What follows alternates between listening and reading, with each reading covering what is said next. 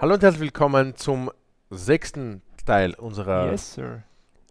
Abenteuer in den Forgotten Realms, Dungeons and Dragons, Magic, Spotlight, Set, Set Spotlight. Spotlight Edition vom Spielraum Wien. Bei mir ist der Herr der Karten, seine Heiligkeit. In Servus. aller Schönheit erleuchtet wie jeden Tag der Herr der Karten, Patrick Portele. Ich bin Zoe Christopher und die erste Karte, mit der wir starten, ist der ausgewachsene Golddrache und hier möchte ich den englischen Namen natürlich erwähnen. Bitte. Der Adult Gold Dragon. Ja. Das hört sich an wie ein neuer Porno-Channel, oder? Ich weiß nicht. Die Adult Gold Member Card. ja? Okay, lassen wir das. Okay. Ähm, äh, der ausgewachsene Drache Ja. kostet ein weißes, ein rotes, drei farblose, ist 4-3, hat fliegend Lebensverknüpfung und Eile. Ja. Ich finde das Artwork sehr schön, der Patrick nicht. Ich finde die Karte an und für sich auch relativ gut, muss ich gestehen. Ja. Die Karte ist gut. 5 Mana. 4 Mana wäre, also bei 4 Mana wäre sie halt ein, ein also wäre sie eine Karte, die einen anderen Formaten Impact hätte, glaube ich sogar. Ja, mit Lifelink und Haste. genau, vor allem mit Lifelink und Haste. Bei 5 Mana, glaube ich, ist sie in Standard gut daheim noch. Ich glaube, in allen anderen Formaten halt zu teuer. Ja. Aber sie ist eben in Standard gut daheim, weil halt Lifelink und Haste ist halt richtig sick. Auf eine fliegende Kreatur, die halt ziemlich sicher einmal connected auf jeden Fall. Ja. Also es ist schade, dass es nicht 4 Mana kostet, wirklich, weil ich diese Karte gerne spielen würde. Mhm. Gefällt mir sehr gut. Wird vier Mana wird es mich halt so an Lightning Angel erinnern und den habe ich früher rauf und runter gespielt. Ja, habe ich auch. Lightning in durch. Sehr lange Zeit auch in Highlander gespielt noch. Ja. Dann gibt es die Klasse der Barden. Mhm. Kostet ein grünes, ein rotes. Legendäre Kreaturen, die du kontrollierst, kommen mit einer zusätzlichen plus 1 plus 1 Marke ins Spiel. Mhm. Stufe 2 kostet auch wieder ein grünes, ein rotes. Legendäre Zaubersprüche, die du wirkst, kosten beim Wirken ein grünes und ein rotes weniger. Dieser Effekt reduziert nur die Menge an farbigen Mana, die du bezahlen musst. Mhm. Und Stufe 3 kostet dann 5 Mana, ein grünes, ein rotes und 3. Immer wenn du einen legendären Zauberspruch wirkst, schicke die obersten zwei Karten deiner Bibliothek ins Exil. Du kannst sie in diesem Zug spielen. Ja. Und ich habe es ja in dem ersten Teil gesagt, ich finde, das ist eine sicke Klasse. Ja, das ist sehr gut. Weil du für zwei Mana spielst halt mal aus Turn 2. Okay. Turn 3 investierst du in die zwei Mana und sie, weil die legendären dann eh um zwei Mana billig sind, das heißt, das hat dich nichts gekostet actually und du spielst eine legendäre Kreatur. Es gibt legendäre Kreaturen, die diese Mana Requirements haben und dann nichts kosten actually. Das heißt, du kriegst dann eine 3-3 ins Spiel für nichts und jede andere legendäre Kreatur, und es gibt viele in diesen Mana, die ein rotes, ein grünes und eins oder so kosten, kosten einen Nasenrammel, werden alle riesig und irgendwann kannst du dann auch problemlos dieses Ultimate leisten und dann geht's überhaupt ab. What he said. What? Also Ja. dieses um zwei billiger ist schon so stark. Schon gut. Das ist so stark. Schon gut. Kannst du den guten Nif Missit für Esper kosten casten? Ja, auch das. Also weißt du, du kann, wenn du nur in, in, in Grul bist, ist schon gut genug. Und natürlich kannst du eine dritte Farbe problemlos dazu nehmen. Ja. Das ist org. Und wenn du halt diese fünf Mal investierst, das natürlich schon viel ist, aber dann auf einmal deine Sachen wieder Karten ziehst praktisch, geht da halt auch das Gas nicht aus. Das, du, du Mhm. spielst dann immer weiter. Ja. So stark. Dann gibt es als nächstes Drist Durden. Mhm. Ein weißer, ein grünes, drei farblose legendäre Kreatur. Elf Waldläufer ist 3-3. Hat Doppelschlag. Mhm. Wenn Drist Durden ins Spiel kommt, erzeuge Jün wie war. Jün wie war. Jün wie war. Güni, Güniva. Gün. Gün- Gün. Güniva. Gün. Güniva. Güniva. Güniva. Günvia. Günvia. Einen, einen legendären 4-1 grünen Katze-Kreaturenspielstein, der Trampelschaden verursacht. Immer wenn eine Kreatur stirbt und falls ihre Stärke größer war als die von Drist, lege so viele plus 1 sagen wir, auf Drist, wie die Differenz bedrist. Bedrist. Beträgt natürlich. Ja, ja. Also das heißt, wenn Güniva stirbt, wird sie Drist größer, ne? Zum Jo. Beispiel. Das ist dann 4 1 Trampel. Also du kriegst halt, du kriegst halt für 5 Mana 7 Power aufs Board, das Mhm. eine mit Double Strike und das andere mit Trampel. Ist schon eine fette Ansage. Ja, ist halt ein guter Finisher. Ja.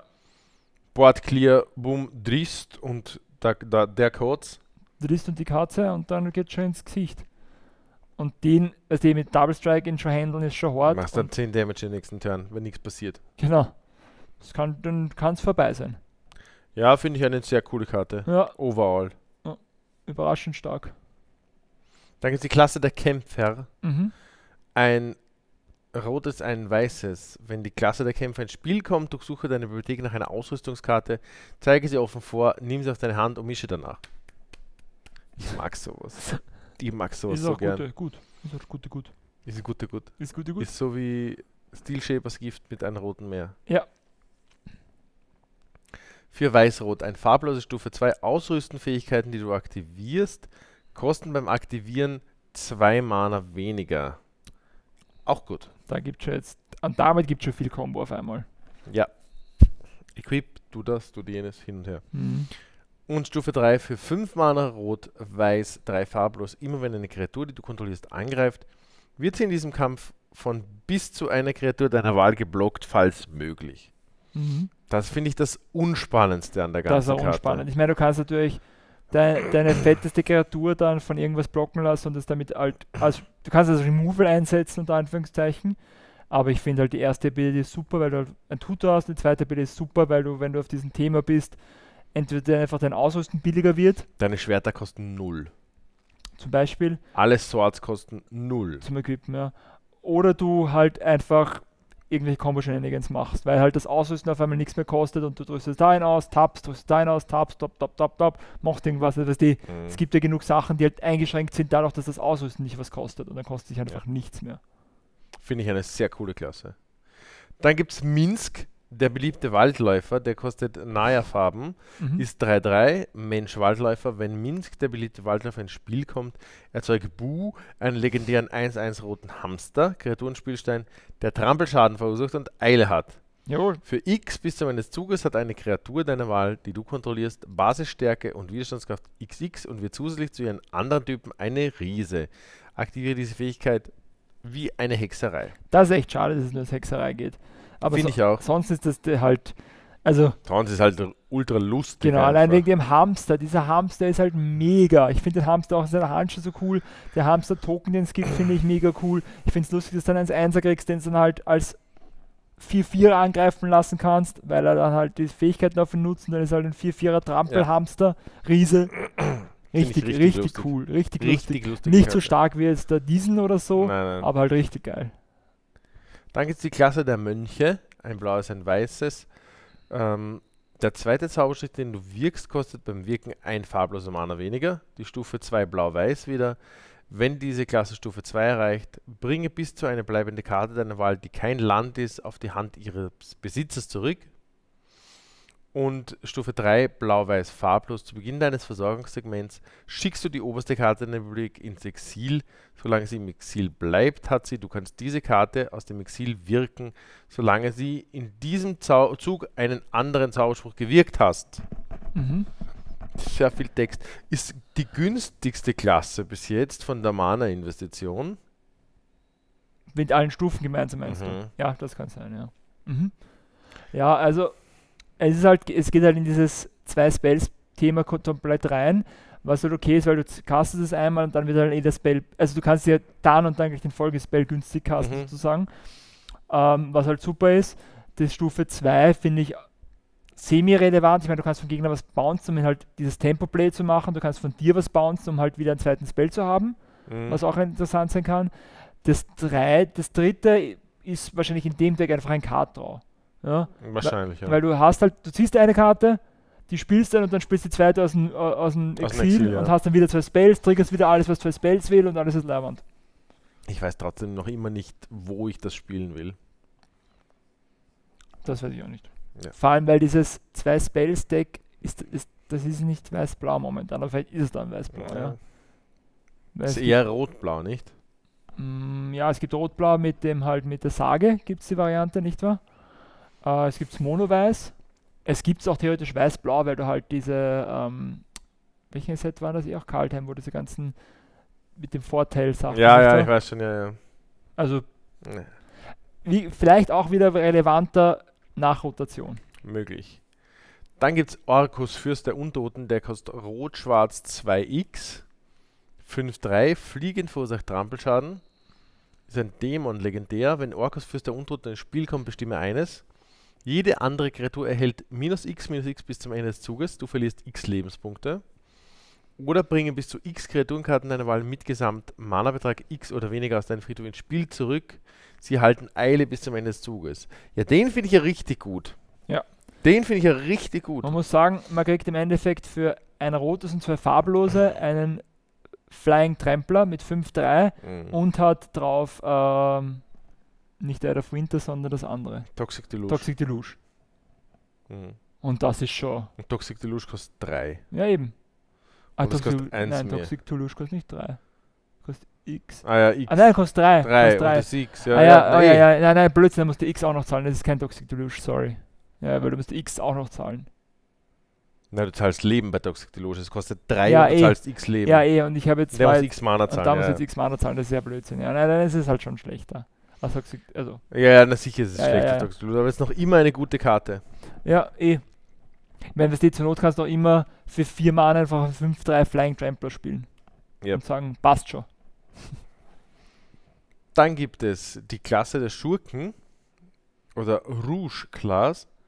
Schwarz-Blau, immer wenn eine Kreatur, die du kontrollierst, einem Spieler Kampfschaden zufügt, schicke die oberste Karte der Bibliothek äh, jenes Spielers ins Exil, verdeckt ins Exil, du kannst sie anschauen, solange sie im Exil bleibt.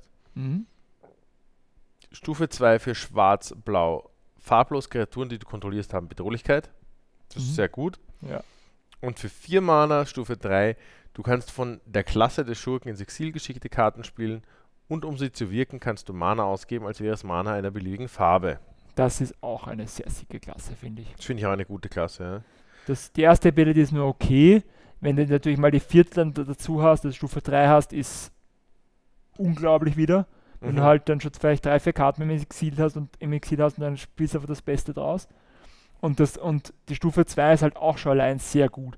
Weil bedrohlich, wie wir wissen, ist halt schon eine gute Ability, wenn ja, alle deine halt Kreaturen wirklich haben. unangenehm. Wenn es alle haben, ist halt schon, wird es halt schon hart für den Gegner.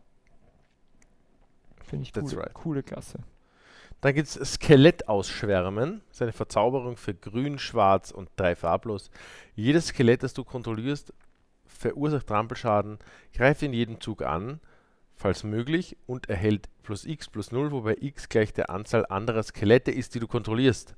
Mhm. Zu Beginn deines Endsegments erzeugst du für erzeugst du einen 1-1 schwarzen, getappten Skelett-Kreaturenspielstein. Falls in diesem Zug eine Kreatur gestorben ist, erzeuge stattdessen zwei solcher Spielsteine.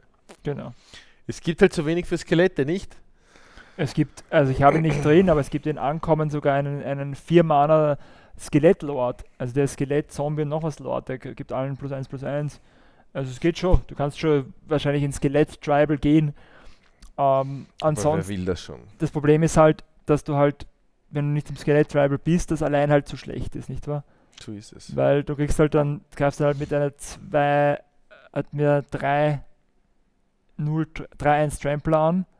Das ist schon okay. Oder mit 2, 3, 0 Tramplern an. 3-1 Tramplern, die kann, das ist schon okay, aber jetzt nicht aufregend. Ja. Hm. Der muss eigentlich beide tot blocken, weil sonst Ja. wird's halt, wird's halt schlimmer. Weil dann wird es halt eine 4-1 Trampler und dann 5-1 Trampler und dann geht es halt schon nicht mehr lustig dahin. Also vielleicht das Beste, was man denkt eigentlich. Bin nicht begeistert, noch immer nicht. Schau mal, was jetzt kommt. Klasse der Zauberer nämlich. Mhm. Ein rotes, ein blaues. Wenn die Klasse der Zauberer ins Spiel kommt, ziehe zwei Karten und wirf dann zwei Karten ab. Ein Is-It-Charm, Mhm. nicht? Ja. Für Rot-Blau Stufe 2 Kreaturen, die du kontrollierst haben, tappe sie, erzeuge ein blaues oder ein rotes Mana, verwende dieses Mana nur, um einen Zauberspruch oder eine Hexerei zu wirken oder um die Stufe einer Klasse zu erhöhen. Ja. Aha.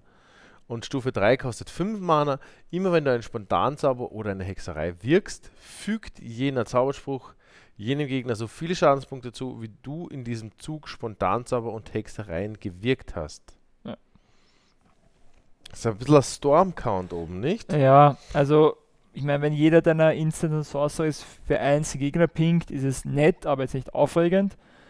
Wenn natürlich dann der dritte, weil du halt drei gespielt hast, schon ein. Lightning Bolt ist, Ja, ist natürlich schon wiederum ganz, ganz solide, ja. ich glaube auch. Ähm, ich finde die Stufe 2 da eher wenig berauschend. Die Stufe 2 finde ich einfach uninteressant, sagst du, wie es ist. Ja, aber der Vorteil ist, dass die Stufe 2, wenn du halt wenigstens irgendeine Kreatur hast, die Ma- Stufe schaust 3 halt feedet. schneller, genau, schau, Genau. Komm, schaust, dass du schnell in Stufe 3 kommst. Ja. Und mit der Stufe 3 hast halt einfach eine Winning Option dann. Genau. Da spiele ich halt dann, keine Ahnung, den, den Opt und irgend noch ein Spell und schießt da halt 3 Damage in dem Zug dafür, dass ich eine Karte gezogen habe und irgendwas gemacht habe. Ja. Dann ist, zahlt sich schon wieder aus. Ja. Also es, es geht halt total schnell, weil 1, 1, 2, 3 und dann hast du 6 Damage geschossen mit 3 Spells. Ja. Wenn du lauter Cantrips spielst, geht das halt. Finde ich spannend, muss ich Ja. gestehen. Dann kommt Targnur, Dämonenzahn-Gnoll. Mhm. Was ist ein Gnoll? Ja, das ist er nicht. Eine Mischung aus einem Troll und einem Gnom. Vielleicht. Ein grünes, Ich ein hätte jetzt an einen Hund gedacht, aber die Knoll, Gnom und Troll mischen finde ich ist ein bisschen genial eigentlich. ähm, grün und rot 2-2. Der hat auch besagte Rudeltaktik oben. Mhm. Das heißt, immer wenn er angreift und falls in diesem Zug Kreaturen mit Gesamtstärke 6 oder mehr angegriffen haben, erhalten angreifende Kreaturen plus 1 plus 0 bis zum Ende des Zuges. Ja, Und für Grün, Rot 2 verdoppelte Tag, Nars, Stärke und Widerstandskraft bis zum Ende des Zuges. Den finde ich ja mal echt grundsolide, ja also ich habe ihn reingenommen, einerseits weil er grundsolide ist und andererseits, weil er ein Gnoll ist. und weil du ihn gratis ausspielen kannst, wenn du das Ja, ja. das ist halt Turn 2 das, ableveln und den gratis spielen, hast gleich mal einen 3-3er. Hast fürs einen 3-3er gespielt, Turn 3 Und dann verdoppelst du seinen Dreck und und dann ist für er, 6 und dann gibt er noch genau, und dann ist er, ist er schon dabei und dann haut er schon für 7 zu. Und allen anderen Freunden plus auch plus 1. I see. Finde ich sehr spannend. Ja, Finde also ich eine grundsolide Karte. Ja. Das Einzige, was an diesem äh, Legendär-Deck hart ist, dass du halt, Legendär bist. genau, dass du halt nicht, dass du kaum Voraus spielen kannst, weil wenn du geflutet bist an einem, kannst du halt, halt nicht voll es ausnutzen. Ja. Wertlos. Dann gibt es den Kollegen, der wurde ja schon sehr früh gespoilert, war gleich die allererste Karte, das ist Tiamat. Drachengott 7-7 legendär, kostet Rainbow und zwei farblose, fliegend, wenn Tiamat ins Spiel kommt und falls du sie gewirkt hast, durchsuche deine Politik nach bis zu fünf Drachenkarten, die nicht Tiamat heißen und die unterschiedliche Namen haben, zeige sie offen vor, nimm sie auf deine Hand und mische danach. Mhm. Sieben Mana ist halt schon viel, aber halt fünf Drachen reapen ist halt sick. ja. Ich glaube ja eher, dass das ein super Drachen-Commander ist, als dass, Das ist es, ein sicker Commander. als dass es jetzt der Standard-Playable ist. Weil Five Color ist schon hart. Ich meine, ich habe Five Color schon in Standard gespielt, weil ich habe eine Zeit lang mich sehr intensiv an den äh, Schreinen probiert. Mhm. Und das ist auch ein Five-Color-Deck. Und das war schon, ist eigentlich hat nur funktioniert, weil der grüne Shrine, die halt Mana Ja. macht in verschiedenen Farben. Ähm, ich glaube nicht, dass du in Hardcasten wirst. In, in, also wird wahrscheinlich schon irgendwie gehen, ja. Aber ich glaube in Wirklichkeit ist er Commander. Ja, auf jeden da ist er Fall. leibend. Dann gibt es den triumphierenden Ab Abenteurer. Der kostet ein schwarzes, ein weißes, 1-1 ist ein Menschritter. Todesberührung, solange es dein Zug ist, hat der triumphierende Abenteurer Erstschlag. Immer wenn der triumphierende Abenteurer angreift, wage dich ins Gewölbe.